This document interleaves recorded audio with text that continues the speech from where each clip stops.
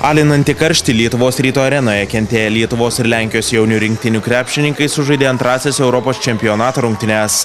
Savo žiūrovų palaikomi Kazio Maksvyčio auklėtinė 87-66 sutriuškino pagrindinius A grupės konkurentus bei užsitikrino vietą kitame pirmenybių etape. Savaidė tolimas bombas ir aštriais reidais po krepšių draskė Lenkų gynybą, lietuviai greitai pradėjo triuškinti varžovus. Tačiau 24 minutę susikrovė 30 taškų persvarą, mūsiškiai staptelėjo. Tuo pasinaudoja varžovai pradėjo mažinti atsilikimą. Bet dar pirmojoje susitikimo dalyje į knockdowną pasiūsti Lenkai nesugebėjo atkurti intrigos. Gal tik rezultatas jau atrodo, kad lengva, tikrai nebuvo su jais lengva, jie labai turi labai mažus žaidėjus, labai greitus tokius, turi didelį centrą, vikrų tokį irgi, gal nežinau.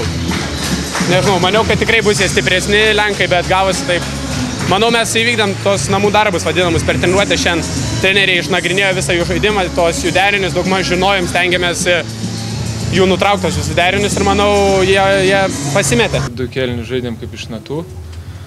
Trečias, ketvirtas sunkiau pasisekė.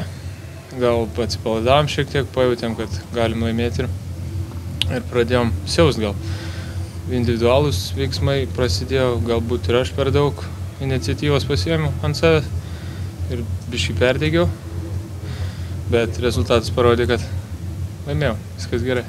Mes turim tikslą savo, turim aukso medalį iškovoti, čia yra mūsų tikslas, o ar laimim 20-30 taškų, tai čia nėra mūsų skirtumo. Įspūdingų dvigubų dublių pasižymėjęs Jonas Valančiūnas nušluostė nosį savo oponentui Pšemislavui Karnovskijui. Milžinų dvikovą laimėjęs komandos kapitonas buvo naudingiausias susitikimo žaidėjas. Nežinau, nenoriu nuvertinti, bet ir, ir pas mane nebuvo idealios varžybos ir pas jį nebuvo idealios varžybos. Abu gal, gal neparodėm visko, ką galim. Lietuvos rinktiniai keturis tritaškius pataikęs Deividas Pukis surinko 16 taškų, Dovdas Redikas pridėjo 15.